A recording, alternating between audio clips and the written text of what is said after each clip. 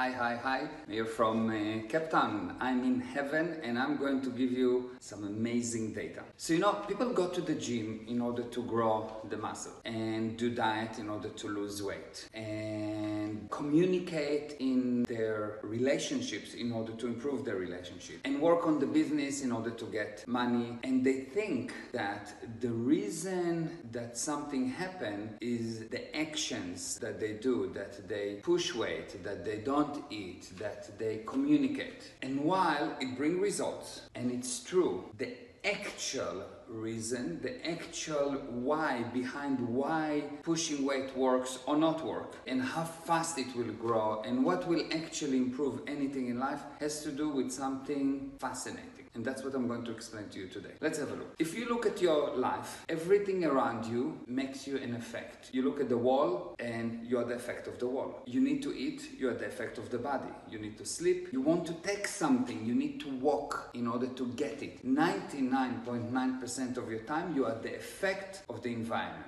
And yet, only when you are cause will you be successful. So you will see that actually the reason you don't use all your potential, it is because most of the time you are the effect of the environment. And what you need to do is to become cause of the environment. So how do you become cause of the wall? How do you become cause of anything? Well, in the gym, it's quite easy. You go and you push weight and you improve. But even at the gym, you will improve only to the degree that you will consider that you're causing the motion. People call it in the gym mind muscle connection. When you do, for example, a diet, you will be successful only to the degree that you causing it and it, you are not the effect. When you're the effect, it's difficult, you don't like it, you craving food, and overall you don't lose weight. Even if you do lose weight, it's for temporary time. Same thing with relationship. For as long as you don't cause it, even if there is re- there are results, that are temporary and you will lose them and the end result will be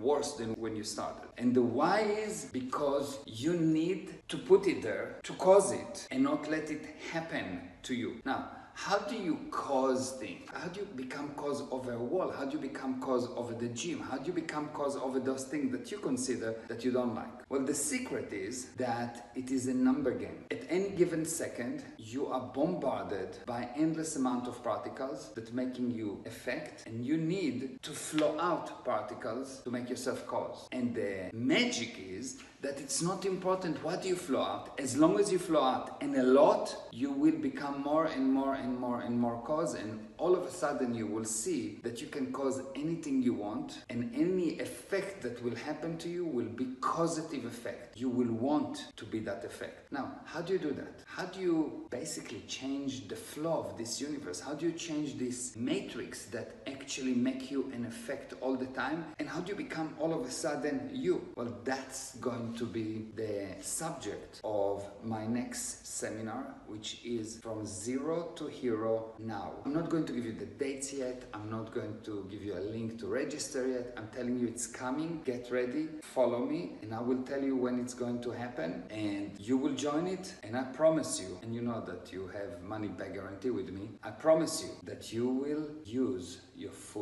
potential by the end of this seminar. What do I mean? You will flow out, you will put things there and not be the effect of things around you. You will locate yourself and not be located by things around you. You will be you. Thank you. Bye bye.